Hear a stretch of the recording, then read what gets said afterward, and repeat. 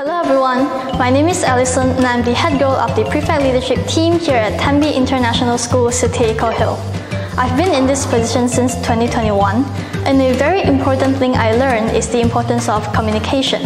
When me and my teammates communicate well, we can get to agreed solutions quicker and also prevent us from unnecessary misunderstandings. The Prefect team also communicates with the rest of the school and we do this by sharing our ideas in the form of videos on school assemblies.